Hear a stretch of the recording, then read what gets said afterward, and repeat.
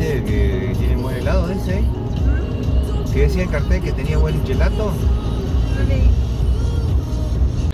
Bueno, acá estamos en un parador, en una playita. Pasamos por ese túnel, sentimos olor a fritura y nos paramos para comer algo. Otra costa hermosa de Italia. Lo que es manejar por acá y lo que es el mar allá abajo. Hermoso. Después de una caminadita llegamos acá a un punto para mirar.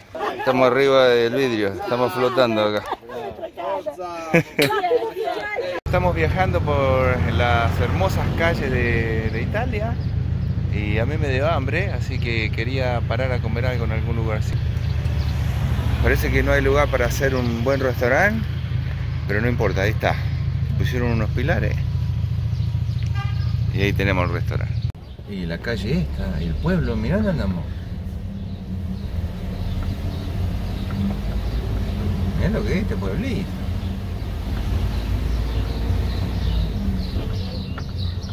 Yo quiero parar acá, yo quiero comer. Pizza. Otro pueblito típico de Italia.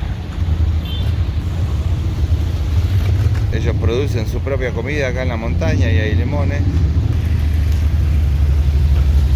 Acá vamos caminando por el medio de la... Esta es la ruta que pasa por el pueblo. Y hay un semáforo porque pasa un auto a la vez. No solamente que pasa un auto a la vez, sino que cuando pasa un auto eh, no podés caminar. Recién pasó uno y me rozó los pelitos la pierna. Vamos a investigar a ver qué se ve. En la boca del lobo parece.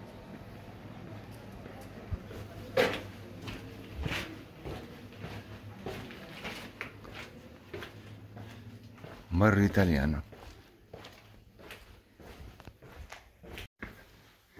Sí. Ah, un hotel de primera. Vamos para allá.